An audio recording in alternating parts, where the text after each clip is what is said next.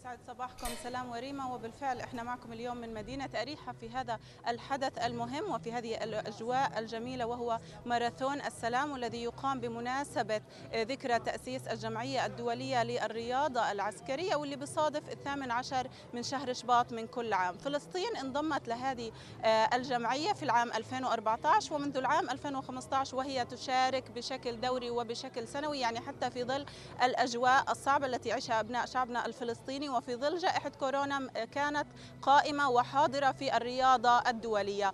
اللي بنظم هذه الفعالية اليوم هو اتحاد الرياضة العسكرية الفلسطيني. هدفه هو صقل الشخصية الرياضية لدى أبناء ومنتسبي أجهزة الأمن للوصول بهم إلى الاحترافية وليس فقط المشاركة. في ظل هذه الفعالية نتحدث أكثر عن أجواء الفعالية وتحضيراتها مع سيادة العميد أمل خليفة. يسعد صباحك. وبداية نثمن ونبارك وجود العنصر النسائي في الأجهزة الأمنية. وأنت اليوم على رأس الاتحاد للرياضة الدولية. تحكي لنا اليوم عن التحضيرات لهذه الفعالية وواقع الرياضة العسكرية في فلسطين. يعني إحنا هاي الفعالية بنحضر لها من فترة كتير كتير طويلة.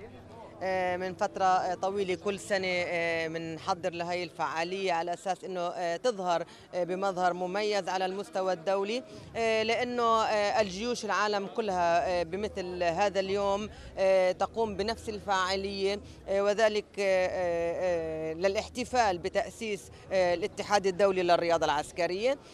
وكمان رسالة لكل العالم أنه إحنا كجيوش العالم ما زلنا نستطيع أن نقدم رياضة غير ما نقدم بميدان الحرب. ميدان الحرب هو للاقتتال وميدان الرياضة هي اللغة الجميلة التي يتعاطى فيها كل العالم جيوش العالم كلها بكل لغاته وبكل فئاته. عشان هيك هذا اليوم إحنا بنسميه يوم السلام. بمعنى إنه إحنا جميعا نركض للسلام جميعا نتكاتف للسلام من خلال الصداقة عبر الرياضة والأخوة عبر الرياضة. بالتأكيد بالتأكيد صقل الفعاليات وثقل النشاطات والعمل عليها على المستوى الرياضي العسكري. بالتأكيد هذا يؤثر إيجابا على الروح العسكرية والروح الرياضية. وهناك أيضا المرأة الفلسطينية التي هي حاضرة دائما بالرياضة العسكرية بداية ابتداء مني. وكذلك لدينا رياضات رياضيات مميزات في ألعاب عديدة مش بس بالماراثون ماراثون كمان بالألعاب القتالية مثل التايكواندو والكونغ فو. تحكي لنا عن أنواع الرياضات بطولاتكم مشاركاتكم الدولية. لدينا هناك العديد. إحنا كل ما ينطوي تحت راية اللجنة الأولمبية هي هو موجود من ألعاب تحت راية الاتحاد الفلسطيني للرياضة العسكرية وكذلك تحت راية الاتحاد الدولي للرياضة العسكرية. هناك العديد من الألعاب القتالية مثل الجودو المواي تاي المصارعة التايكواندو الكونغ فو وهي ألعاب مميزة لدينا ولدينا وفيها العديد من المنتخبات الفلسطينية. هي مشكلة من كادرنا العسكري ومن كادراتنا كمان. يعني ما بدي أنسى صبايانا المميزات العسكريات المميزات اللي إحنا بنشتغل حقيقي على إنه إحنا ندعمهم ونقدم لهم ونمكنهم ونقدم لهم كل ما نستطيع عشان يوصلوا للتتويج. مش بس إنه يشاركوا على البساط كمان لا بدنا إياهم إنه يطلعوا على منصات التتويج.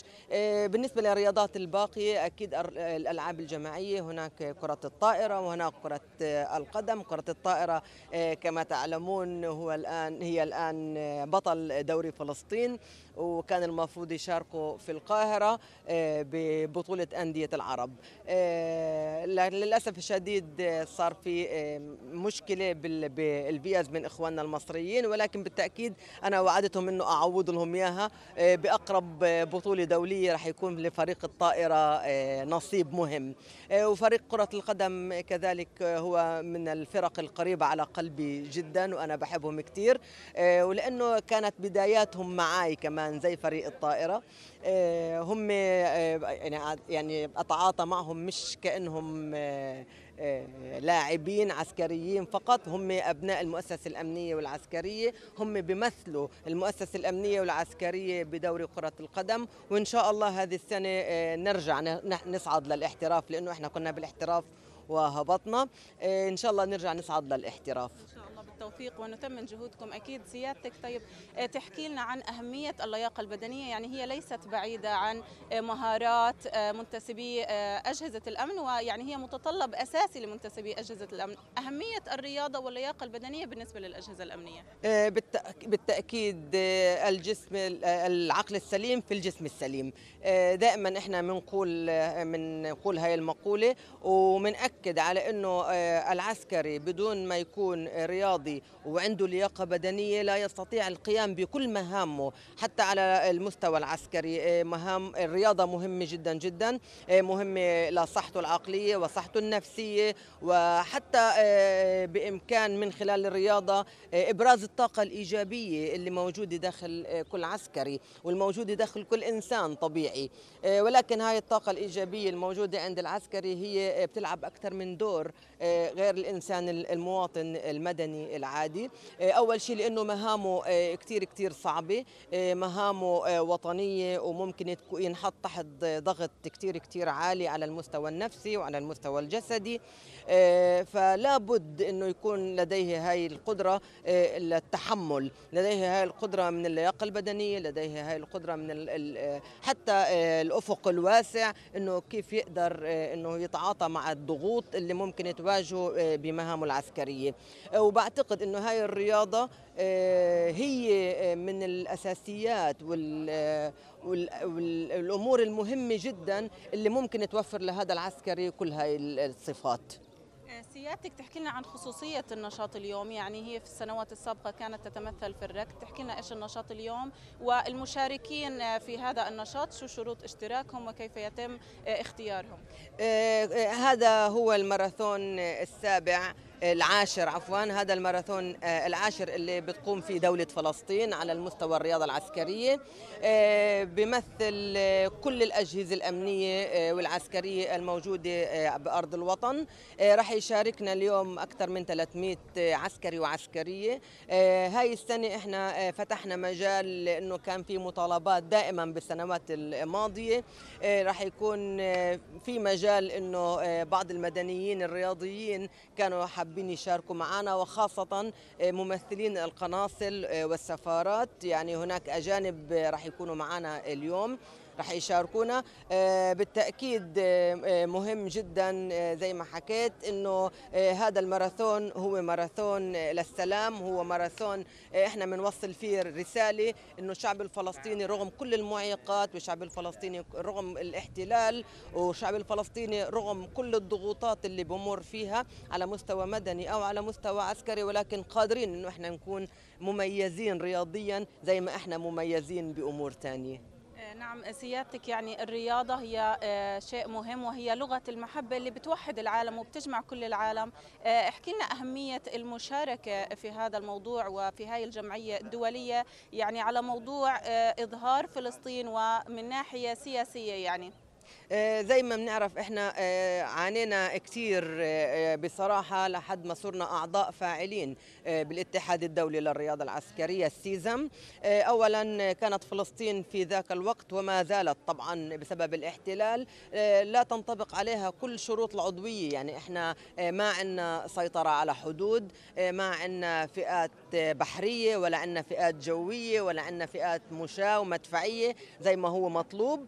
وزي ما هو قانون بالاتحاد الدولي ولكن إحنا أصرينا على هاي العضوية وأصرينا على أحقية فلسطين إنه يكون ممثل بهذا المكان ببساطة مطلقة لأنه رسالة هذا المكان رياضية ورسالة سلام. وهي هاي الرسالة اللي بقدمها بتقدمها السيزم الاتحاد الدولي للرياضة العسكرية.